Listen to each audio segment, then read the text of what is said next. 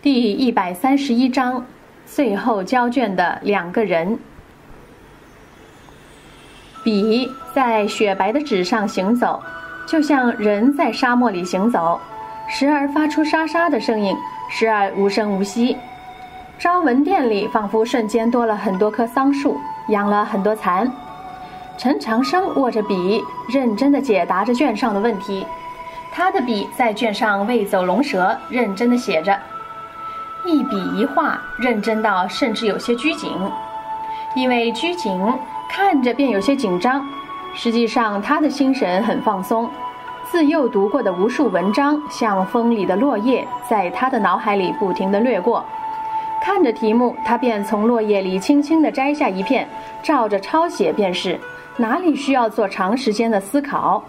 需要思考才能得出结论的题目，暂时还没有出现。已见的数张试卷里，还没有超出到藏范围的知识考核。出题目的教室，暂时也还没有展现出超过无数前贤的智慧。不远处的苟寒石搁下笔，揉揉手腕，然后继续行卷，神情平静放松。仿佛是在骊山书斋里温书做笔记一般。朝文殿内一片安静，只能听到翻阅试卷的书写的声音，偶尔会听到一两声咳嗽，那代表着紧张。就在这个时候，谁都没有想到的事情发生了：有人提前交卷。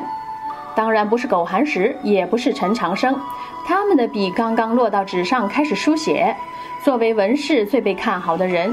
至少得把所有的题卷全部都做完吧。最先交卷的也不是轩辕破，文士不存在淘汰。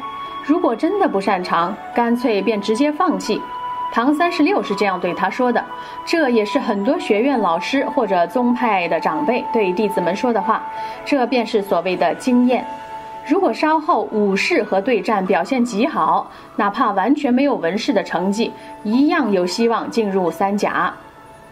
提前交卷在每年的大朝市里都很常见，但今年有人提前交卷，依然让人们感到非常吃惊，因为现在时间还太早。最先交卷的人正是陈长生一直留意的那名单衣少年。那少年连卷子都没有看，更准确地说，当题卷刚刚被发到他的桌子上，他便起身拿着题卷向主考官的位置走去。这和弃考有什么区别？这就是弃考。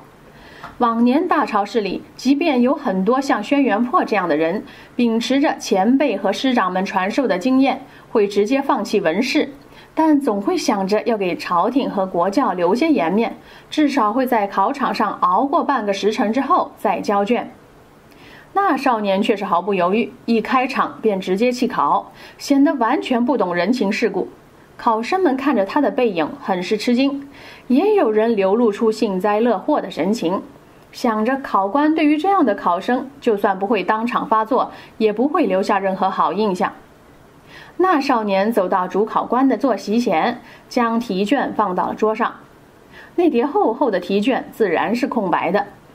由朝廷和国教派出的数名主考官盯着这名少年，沉默不语，气氛有些怪异。一名教士打破沉默，寒声地说道：“你确认要交卷？”那少年容貌清秀，最大的特点便是一双眉毛很细很平，看着就像是一条直线，偏偏并不难看，只是显得有些冷漠。听着那名教师问话，少年的脸上依然没有什么表情，问道：“不行吗？”说话的时候，他的细眉微微挑起，显得有些厌烦，似乎非常不喜欢和人进行交谈。他的声音淡得像冰，语调平得像荒野，语速很慢，就像是一个字一个字的往外蹦，就像是很久没有开口说话一般。那名教士微微皱眉，有些不悦地说道：“按照大朝市的规矩，提前交卷自然是可以的，不过……”没有等教士把话说完，那名少年说道：“我交卷。”语速依然很慢，语调依然很平，情绪依然很冷，表达的意思很清楚，意愿很坚定，那就是没有什么不过。那名教师看了眼空白的题卷，不再多说什么。另一名主考官厉声地训斥道：“你现在已经进不了二甲，但凡有些羞耻心，也应该感到惭愧。居然还表现得如此得意，真不知道你的师长是怎么教的你。”那少年依然面无表情，没有回答这句话。他没有师长，他来参加大朝试，只是为了参加对战。他要打败所有人，尤其是那个白帝城的小姑娘，再次告诉自己，自己才是最强的。至于大周朝廷和国教评选的首榜首名，他根本不在乎。稍后，有人带着少年离开昭文殿，去武士的场地。殿内数百名考生看着少年渐行渐远，眼神有些复杂。苟寒石隐隐猜到少年是谁，神情变得有些凝重。庄焕宇微微挑眉，神情依然平静，眼睛深处却有些不安。半个时辰后，陆续有考生交卷，那些考生被官员带离昭文殿，沿着离宫里的神道走了很长一段时间。便来到了武士的场所——朝阳园。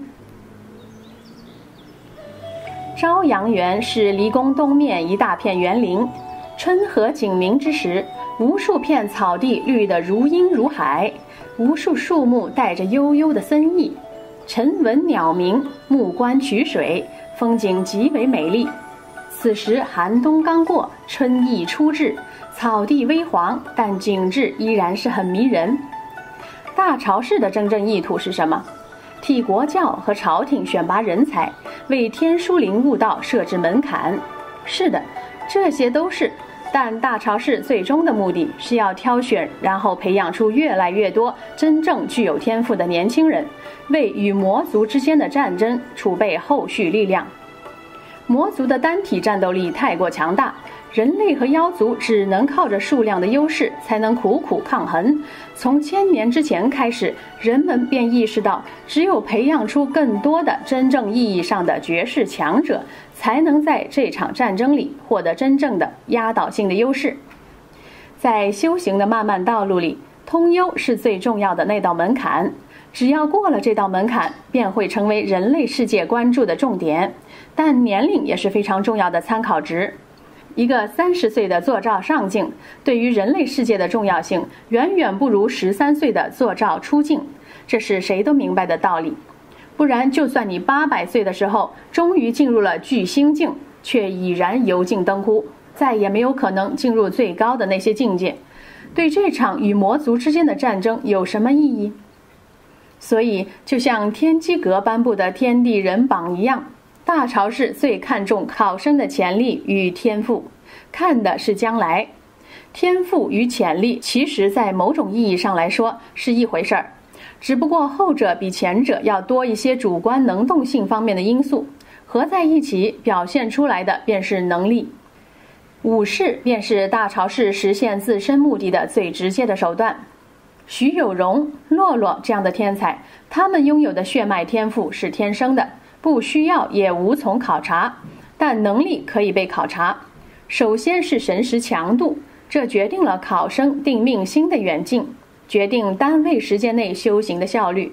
其次是真元数量，这关乎考生的勤奋程度以及对天地的感知效率。考生们在官员的带领下走过朝阳园，来到最东面，也是最深处。他们没有看到最早交卷的那名少年，只看到了面前约两人高、被修剪得极为平整的冬青灌木丛。有些京都考生知道这片绿意盎然的树林的来历，才明白今年的武士竟然是这样的内容，不由得在心里发出无声的哀鸣。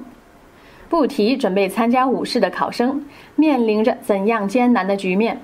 昭文殿里的文士还在继续，有的学生咬着鼻尾，脸色苍白，仿佛随时都可能昏倒；有的学生在寒冷的初春天气里，竟然汗流满面，身上冒着淡淡的热气，场间气氛格外压抑。今年的文试题目太难，涉及的知识面太多，而且太深，远远超过前些年。再如何绞尽脑汁，终究人力有时穷。不断有考生在与出题者的战斗里败下阵来，提前交卷。然后昭文殿后不时会传来哭声。主考官以及教师们的目光越来越多地落在苟寒石和陈长生二人的身上，二人仿佛毫无察觉，继续做着题卷，手里的笔没有停顿过。随着时间的流逝，昭文殿内只剩下了十余人，大部分席位已经被撤走，场间更加空旷冷清。就连剩下的人也已经放弃了最后几页题卷的解答，开始认真的检查前面的答案，希望不要出现不应该的失误。苟寒石和陈长生还在答题。初春的太阳从地平线挪到正中，还在参加文试的人是越来越少，就连天海圣雪和怀远那四位年轻书生都已经结束了答题。苟寒石和陈长生还在继续沉默地答题。他们这时候已经达到了最后一页。殿内的主考官和教师们再也无法安坐，纷纷离开桌椅，端着茶水来到场间。因为担心影响二人答题，所以没有太靠近，隔着一段距离观看着这一幕大潮室里极难出现的画面。没有人发出任何声音，脸上的神情越来越精彩。这些年的大潮室，从来没有人能够把文试的所有题目做完。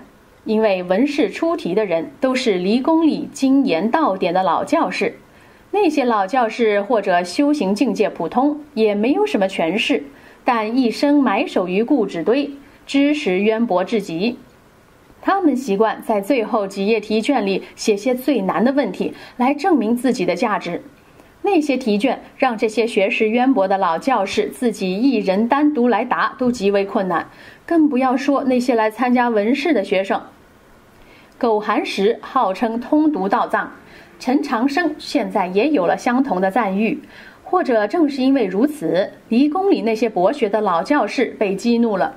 今年大潮试的题目要比往年难很多，尤其是最后几页题卷，更是精深偏门到了极点，就是想给苟寒石和陈长生难堪。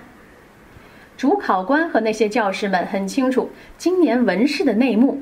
此时看着苟寒石和陈长生居然达到了最后一页，竟似乎能够把所有的题卷全部做完，自然震撼无比。